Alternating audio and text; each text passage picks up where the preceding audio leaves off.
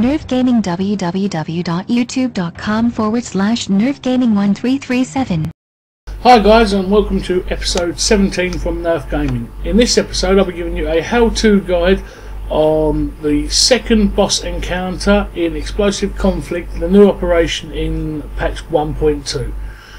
As you enter the area you'll see there's two tanks. On the left you've got Firebrand and on the right you've got Stormcaller.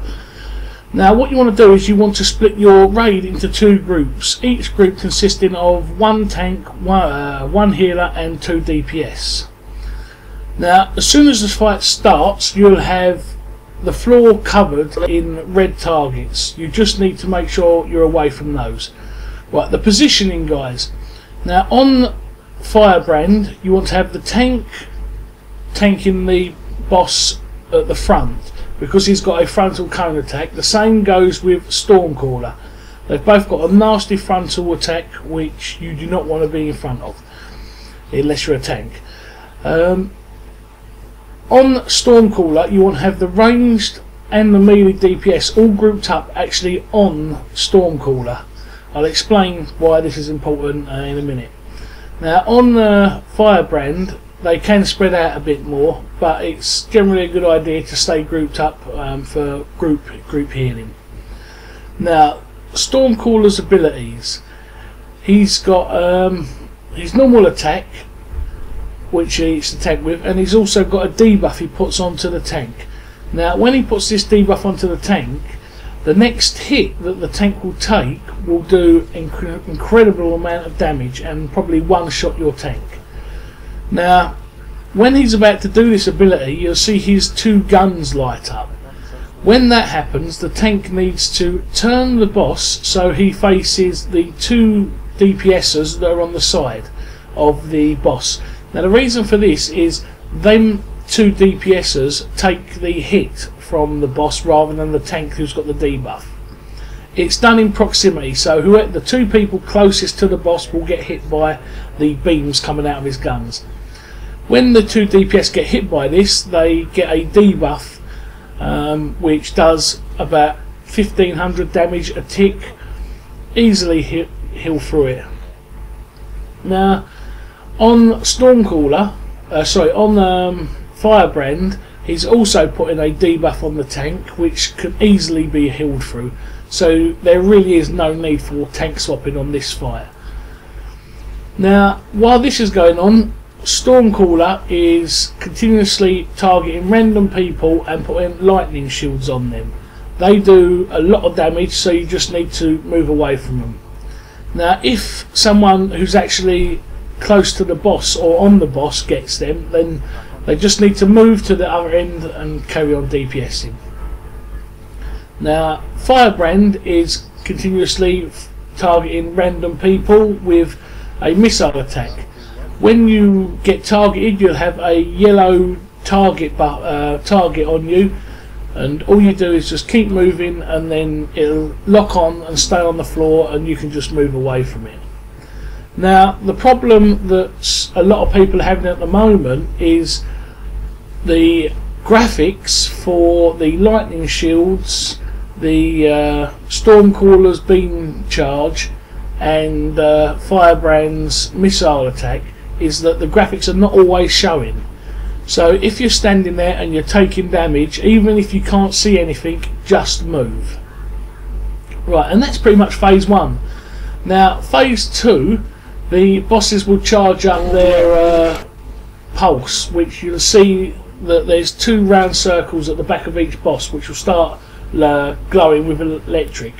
Now, once they glow, they will knock everyone off off the uh, boss and then it's into phase two. Right, phase two, guys, you'll have a yellow shield spawn each side of the room. Now, when the shield spawns, it's important that everyone gets under their shield. Like the healer 2 DPS one side, the healer 2 DPS other side. Now, the idea of this phase is that Storm, uh, Bone, uh, Bone Thrasher, uh, Firebrand is doing mass AoE attack. Now, all the time you're underneath the shield, you don't get hit by it, but it does take health off the shield. Right. There are also ads that spawn inside the shield that just need to be nuked down. But it's important not to nuke the shield down by accident because the shield's the only thing stopping you.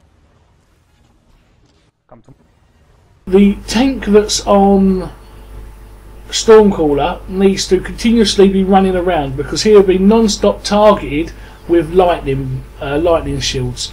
So he just carries on running around and making sure that none of the lightning shields are put in an awkward place where he's unable to get back to the boss or the DPS. Where the uh, firebrand tank just guys. Wait for the stands there and carries on tanking unless he gets targeted. It's pretty easy to heal through. Um, a nice little tip that we found is make sure you've turned off auto target closest target in your preferences because we had someone nuke down one of the shield generators on one of our attempts accidentally. Now this is our first try guys and we was a bit uneven on the on the DPS. We had two good DPS one side and two weaker DPS the other side. And the result of this was one side was almost dead and the other one was still at 50%. So make sure that you get your DPS sorted. Spend a bit of time on the training dummies and see what DPS people are doing, and then position, putting, setting up the groups will be a lot easier. Um, and that's pretty much it, guys. Uh, this was our first kill, and it did get a, get a bit messy near the end. Like I say, I had to send one of the DPS from Stormcaller over to the other side to uh, help out, and uh. I had to then get up onto the tank. Uh, due to this, they did in dynamic? range and uh, do insane damage. But we was fortunate enough to uh, get them down far enough that the one person alive, which was a healer, was able to take down the last 5k health that uh, Firebrand had. Um, and that's uh, pretty much it, guys. It is a bit of a messy kill, but like I say, this is our first uh, attempt. Um, as always, guys, cheers for watching. If you enjoyed the video, give it a thumbs up and hit the subscribe button below, guys. Thanks for watching. Yeah, It, in raids. Rage, Dead, yeah. Dead. Six, Nuke fast. Yeah, I took it. Two. Pop cooldowns.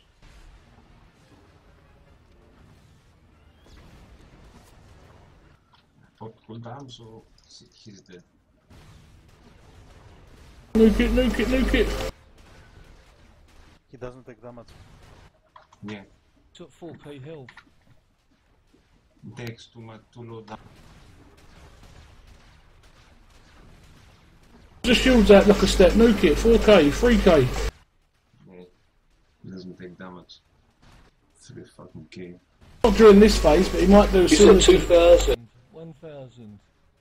got look a step. Kill yourself and nuke it. He's at 300. Hey! Uh, I might die.